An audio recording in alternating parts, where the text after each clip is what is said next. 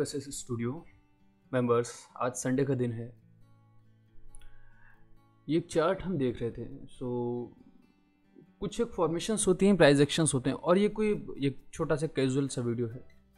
Just हम ये chart देख रहे थे और ये फॉर्मेशन मेरे सामने दिखाई पड़ी हमको, जिसकी वजह से हम इसको रिकॉर्ड करने लग गए और एक टॉपिक बहुत अच्छा था, जो कि शेयर करना बहुत ज़रूरी है आप लोगों के साथ। वन बाय वन दो टॉपिक आज की आज के सेशन में हम लोग क्लियर करेंगे। सबसे पहला तो स्टॉप लॉस के ऊपर है, जो बहुत से लोगों का होता है कि वो स्टॉप लॉसेस नहीं लगाते हैं। टैगलाइन है, मन में है स्टॉप लॉस इसके नीचे जाएगा, ऊपर जाएगा तो हम निकल जाएँगे। जस्ट लाइक दैट कि इसी तरह से होता है।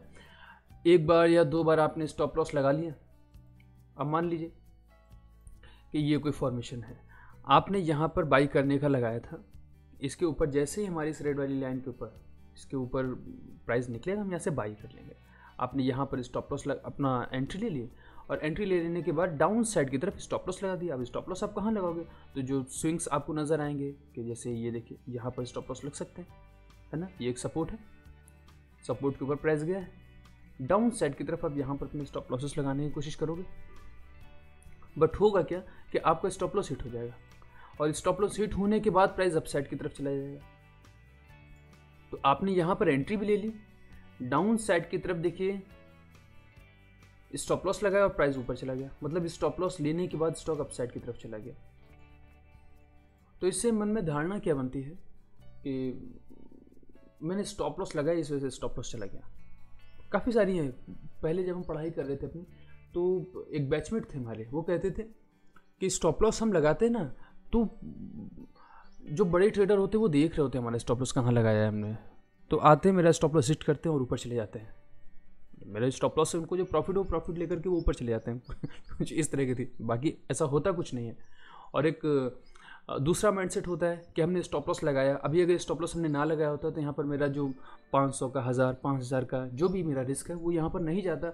और इस वक्त हम प्रॉफिट में होते क्योंकि मार्केट यहाँ से ऊपर चली गई ना तो इस वजह से हम प्रॉफिट में होते तो यही कुछ दो तीन रीजंस हैं, जिसकी वजह से लोग स्टॉप लॉस नहीं लगाते। अब क्योंकि स्टॉप लॉस लगाने तो उसको लेकर के एक निगेटिविटी भी आती है अंदर की स्टॉप लॉस मतलब स्टॉप लॉस शब्द ही ऐसा है ना स्टॉप लॉस लॉस जुड़ा हुआ है उसके अंदर। तो आप स्टॉप लॉस नहीं लगाओ, कि अगर हम स्टॉप लॉस लगाएँगे तो पैसे जाने के डर हैं। उस पैसे जाने के डर को पैसे जाने के डर से हम बचना चाहते हैं। है ना? जैसे है ना, इसके अंदर लॉस शब्द जुड़ा हुआ है। तो स्टॉप लॉस हम क्यों लगाएँगे? हम नहीं लगाएँगे स्टॉप लॉस हमको डर लगता है। लॉस हो जाएगा हमें। अगर स्टॉक वहाँ तक आया तो हमको लॉस हो जाएगा। हम एक काम करेंगे कि एंट्री लेंगे और एंट्री ले लेने के बाद स्टॉक जैसे ही थोड़ा सा ऊपर जाएगा ना, हम निकल जाएँगे। स्टॉप लॉस लगाने की ज़रूरत क्या? थोड़ा सा ऊपर जाएगा, हम निकल जाएँगे। ये मार्केट है। अच्छे अच्छे लोगों का जो एटीट्यूड होता है ना, वो ब्रेक कर देती है मार्केट पूरी तरह से। अच्छे अच्छे लोगों का। तो इस तरह से ये मन में है स्टॉप लॉस वाली बात इसको बिल्कुल ध्यान से निकालना होगा। आपको पता होना चाहिए तो अक्सर वीडियोस में हम ऐसे भी आप लोगों को बताते रहते हैं ये आपको पता होना चाहिए कि आपका स्टॉप लॉस लगा कहाँ पर है। है ना? एंट्री आपको कहाँ पर लेनी आपके एंट्री और स्टॉप लॉस के बीच की जो दूरी है, यही आपका सक्सेस रेशियो बढ़ाती है। अगर इतने बीच की दूरी में आपने मेहनत नहीं की है, आप प्रॉफिट लेने के लिए बैठे हो तो एक बार हो जाएगा, दो बार हो जाएगा, लेकिन लॉन्ग प्रोस्पेक्टस से अगर आप देखोगे तो लॉसेस के अलावा कुछ भी नहीं रखा हुआ है। तो एंट्री और स्टॉप लॉस यहाँ पर क्या है कि आपका रिस्क मैनेज होता है। मान लीजिए ये रेड वाली लाइन है, उसको डिलीट कर देते हैं। या चलिए ग्रीन वाली लाइन को डिलीट करते हैं, है ना? तो अब ये मान लीजिए रेड वाली लाइन आपकी एंट्री हो ये डाउन साइड की लाइन आपका स्टॉप लॉस है। तो इनके जो बीच की दूरी है ना, यही तो आपका रिस्क है। इसे ही तो मैनेज करना होगा, इसी को बोलते हैं रिस्क मैनेजमेंट और आपने इसी को मैनेज नहीं किया, आप प्रॉफिट लेने के लिए भाग गए। कितना बड़ा लॉस हो सकता है, आप खुद जान तो। सभी लोग समझदार हैं एक्सपीरियंस होल्डर हैं। अब हम लोग इतनी बड़ी मार्केट में बच्चों वाली हरकत करेंगे। ये बताने का रीज़न क्या है कि कुछ एक अपने मेंबर्स हैं जो कि बिना स्टॉप लॉसेस के, कुछ एक नहीं, काफ़ी सारे हैं। बिना स्टॉप लॉसेस के काम करते हैं। बिना स्टॉप लॉस के काम करने का मतलब अच्छे खासे रनिंग प्रॉफिटेबल बिज़नेस को लॉस की तरफ़ ढकेल देना। ऐसा नहीं करना होगा ना।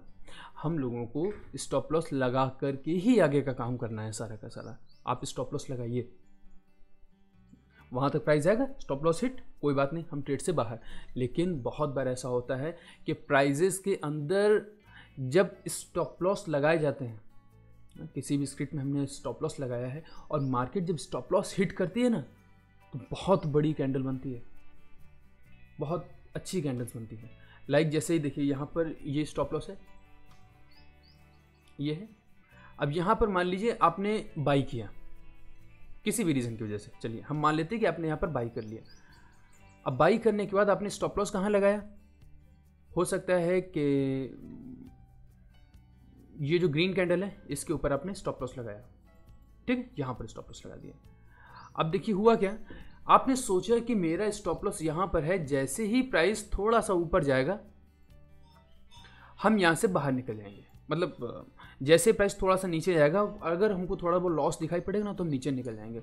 और अगर ऊपर जाएगा तो थोड़ा बहुत प्रॉफिट लेकर के हम निकल जाएँगे। थोड़ा बहुत। मालूम नहीं है कितना, थोड़ा बहुत। तो प्रॉफिट होता है तो थोड़ा सा ही बुक कर लेते हैं, लेकिन लॉस नहीं नहीं स्टॉक भी ऊपर आएगा ऊपर आएगा ऊपर आएगा। आँख बंद करके देख रहे हैं। वो स्टॉक ऊपर आएगा। लेकिन होता क्या है ना जैसे ही आपको स्टॉप लॉस हिट होता है ना, इतनी इतनी बड़ी कैंडल्स बनती हैं। आपको मार्केट निकलने का मौका नहीं देगी। आपने चार दिन, पाँच दिन में थोड़ा थोड़ा हमने बताया ना कि थोड़ा थोड़ा थोड़ा सा प्रॉफिट ले लेंगे और हम निकल जाएँगे। तो थोड़ा थोड़ा प्रॉफिट लेकर के आपने पाँच सौ, हज़ार, या हम कहते चलिए पाँच हज़ार रुपये भी बना लिए। अब अगर पाँच हज़ार बनाए तो उतना बड़ा रिस्क भी तो आपने लिया होगा। है ना? अब एक कैंडल बनेगी और आपके पूरे हफ़्ते की जितना भी प्रॉफिट होगा, सारा का सारा सिर्फ़ एक ये कैंडल लेकर के गायब हो जाएगी। आपको पता नहीं पड़ेगा। यहाँ पर तो चलिए ठीक है, फिर भी प्राइस डाउन साइड की तरफ़ आया और रिट्रेस हो गया। बहुत बार ऐसा होता है ना मार्केट गिरती है तो फिर गिरती चली जाती है, अच्छे अच्छे लोगों के अकाउंट्स साफ़ कर देती है मार्केट ये सब बताने के पीछे का मेरा रीज़न क्या है? क्यों मैं बता रहा हूँ? स्टॉप लॉसेस लगाइए। कितना लॉस आप बियर कर सकते हो, इसको मन में बैठा लेना होगा। अगर आप गैम्बलिंग कर रहे हो मार्केट के अंदर तो आप ये वीडियो नहीं देख सकते। और ना ही ये स्टॉप लॉस और target identification risk management money management आपके लिए नहीं होता। अगर आप गैम्बलिंग कर रहे हो तो क्योंकि आप बहुत बड़े ट्रेडर होते हो। हम लोग क्या छोटे ट्रेडर होते हैं? छोटे ट्रेडर इन द सेंस कि हमें मालूम है कि हमारे स्टॉप लॉसेस कहाँ पर लगा है। हमें मालूम है कि हमें टारगेट्स कहाँ पर लेने हैं। So we are just like business businessman not a gambler तो अगर आप अपने आप को एक बिजनेसमैन समझ रहे हो मार्केट के अंदर एक बिजनेसमैन के प्रोस्पेक्टिव से काम कर रहे हो तो, तो आपको स्टॉप लॉसेस और टारगेट्स वगैरह लगाने ही लगाने हैं। इस चीज़ का ध्यान रखिएगा और बिना स्टॉप लॉसेस के काम मत कीजिएगा। एक बार फिर से चलिए हम लोग क्लियर करते हैं। अब मान लीजिए कि ये एक एरिया है आपका है ना? यहाँ से लेकर के यहाँ तक की आपकी दूरी मान लेते हैं कि पचास पैसे की है है ना? पचास पैसे की आपकी दूरी है। अब आपका रिस्क कितना है? सौ रुपये का। कि आप सौ रुपये का रिस्क बियर करने के लिए तैयार हो मार्केट के अंदर। और पचास पैसे का आपका स्टॉप लॉस आ रहा है। तो आपकी क्वांटिटीज़ कितनी आ जाएँगी? लगभग 200 क्वांटिटीज आएँगी। आप 200 क्वांटिटी ले लो, आराम से बैठे रहो। आप तो सौ रुपये लॉस करने के लिए तैयार ही हो। लेकिन इसके एवज में आपको 200 या फिर 300 रुपये चाहिए, है ना? चार सौ रुपये चाहिए होंगे। आप सौ रुपये लॉस लॉस करने के लिए तैयार हो। क्योंकि सौ रुपये आपके पास से जाएगा तो आपको कुछ फ़र्क नहीं पड़ेगा। इसी से तो हमारा रिस्क तैयार होता है ना। अब मेरी रिस्क कैपेसिटी है सौ रुपये की और हम रिस्क ले रहे हैं हज़ार रुपये का। अब डर लगेगा। प्राइस हमारे स्टॉप लॉस तक पहुँचे ना पहुँचे, हम मार्केट से बाहर हो जाएँगे। और जब हम बाहर हो जाएँगे ना तो मार्केट वहाँ तक नहीं पहुँचेगी। फिर वो सीधे आपका स्टॉप लॉस छुए बगैर ऊपर चली जाएगी। यहाँ पर भी दिक्कत होती है। रिस्क मैनेजमेंट इन सभी तरह की परेशानियों की एक दवा है, समझ लीजिए। ऐसे कुछ बहुत अच्छे शब्द नहीं आ रहे मेरे दिमाग में इस वक्त, लेकिन रिस्क मैनेजमेंट ही सभी परेशानियों का सोल्यूशन आपको देता है। इसको लेकर के चलना होगा। अब 200 सौ क्वांटिटीज आपने बाई की फिफ्टी पैसे गए स्टॉप लॉस सौ रुपये गए तो गए, ठीक है, कोई बात नहीं। हम नेक्स्ट ट्रेड अपॉर्चुनिटी ढूंढेंगे। अच्छा ये भी ज़रूरी है कि एक दिन में आपका रिस्क डिफाइंड होना चाहिए। आप सौ रुपये का रिस्क ले रहे हो पर डे सौ रुपये का रिस्क लेना है। आप दो सौ रुपये का रिस्क लो पर डे दो सौ रुपये का रिस्क लेना है, तीन सौ का लेना है, चार सौ का लेना है डिफाइंड होना चाहिए। है ना, कितना रिस्क आप ले रहे हो, ये चीज़ डिफाइंड होनी चाहिए आपको। मेरा क्या है, मेरी जो प्रैक्टिस चलती है टू थाउज़ेंड रुपीज़ के रिस्क के साथ चलती है, ये मेरा अपना प्रैक्टिस है। हमें जो रिस्क चाहिए वो डिफाइंड होना चाहिए कि दो हज़ार रुपये जाएँगे ना, हमको कोई फ़र्क नहीं पड़ने वाला, कोई फ़र्क नहीं पड़ने वाला।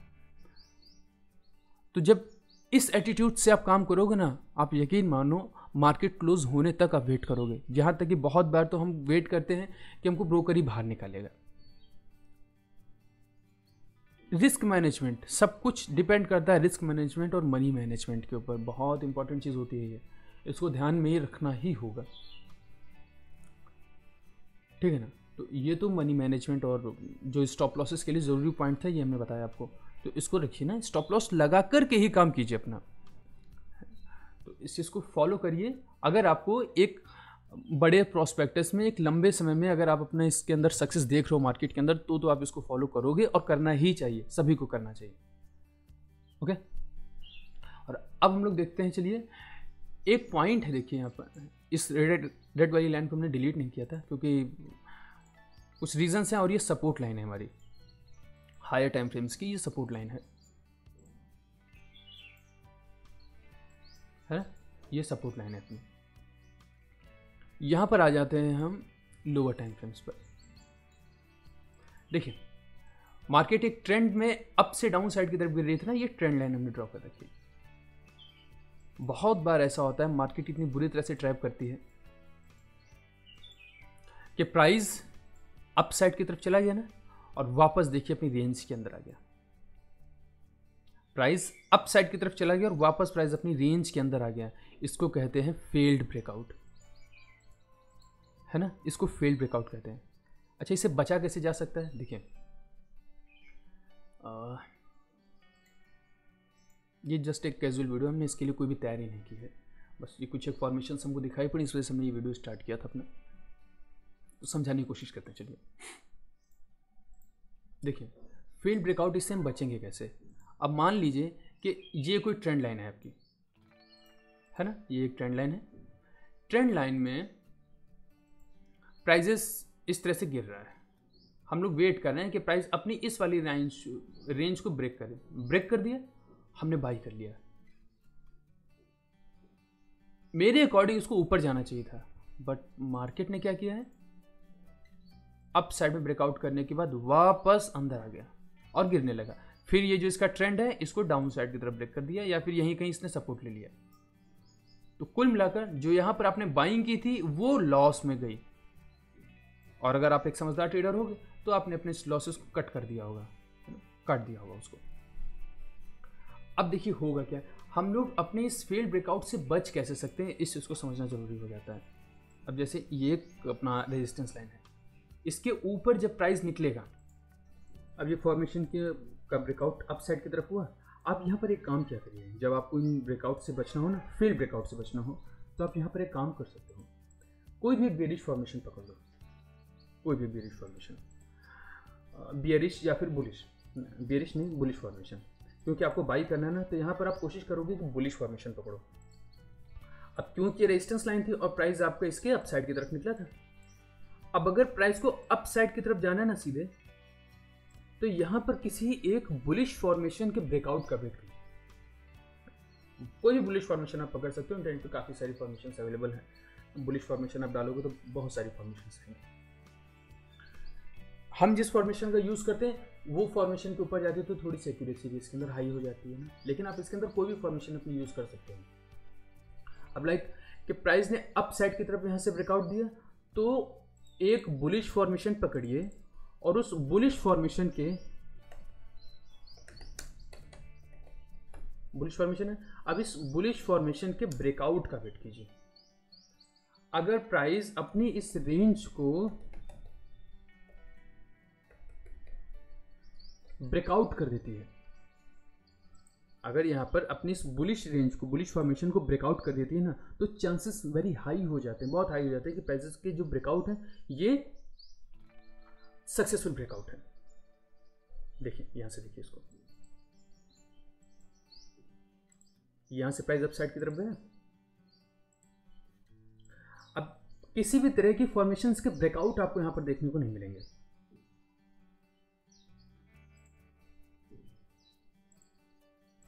ये है ना? देखिए ब्रेकआउट्स देखने को नहीं मिलेंगे। और प्राइस सीधे डाउन साइड की तरफ़ आ गया। एक कैंडल ऊपर गए सीधे डाउन साइड की तरफ़ प्राइस और अपने सपोर्ट को ब्रेक कर दिया इसने। और ये वाले जो सपोर्ट इसको ब्रेक किया है ना, अब ये प्राइस में भी हो सकता है कि यहाँ से डाउन साइड की तरफ़ ही निकल जाए। कुछ समय तक ये हमको डाउन साइड की मोमेंटम शो कर सकता है। तीसरा तीसरा पॉइंट जब हम लोग, जिसको यूज़ करते हुए हम लोग स्टॉप लॉस से बच सकते हैं। मतलब फेल ब्रेकआउट से बच सकते हैं। वो होता है volume. Volume confirmations. Volume confirmations का मतलब ये हुआ कि मान लीजिए यहाँ पर नॉर्मल वॉल्यूम्स आ रही हैं। इतनी सारी फॉर्मेशन है ना। यहाँ तक जब प्राइस आया तो यहाँ पर इसकी वॉल्यूम्स बहुत कॉमन वॉल्यूम्स है नॉर्मल वॉल्यूम्स है। बट यहाँ से प्राइस जैसे ही अपसाइड की तरफ़ निकलते हैं, यहाँ पर वॉल्यूम्स के ब्रेकआउट शो अगर हो जाते हैं तो ये और भी ज़्यादा एक्यूरेट हो जाता है। तो या तो कोई बुलिश फॉर्मेशन का ब्रेकआउट आप देख लो, या तो वॉल्यूम्स के ब्रेकआउट आप देख लो। फेल ब्रेकआउट से बच जाओगे। हॉली ग्रेल नहीं सिस्टम है। ये कोई मतलब आप यहाँ पर इस तरह से आप समझ सकते हो कि अगर हमने ये बोल दिया है, ये दो फॉर्मेशन अगर हमने आपको बताई ये दो पॉइंट्स जो हैं कि बुलिश फॉर्मेशन का ब्रेकआउट इसके ऊपर अगर हो जाता है तो ठीक है प्राइस ऊपर निकल जाएगा, या फिर वॉल्यूम्स के ब्रेकआउट हो जाएँगे तो प्राइस ऊपर निकल जाएगा। तो ऐसा कुछ फिक्स्ड नहीं है कि अगर ये नहीं होंगे और प्राइस ऊपर नहीं जाएगा। मतलब बुलिश फॉर्मेशन के ब्रेकआउट अगर नहीं हो रहे हैं तो ज़रूरी नहीं कि फिर प्राइस ऊपर जाएगा ही नहीं, जा सकता है। लेकिन अगर हम ट्रेड करें, अपना रिस्क ले रहे हैं तो कुछ ना कुछ कंफर्मेशन के लिए तो हम रुकेंगे ना। ऐसे तो चले नहीं जाएँगे कि प्राइस ऊपर निकला और हम निकल गए।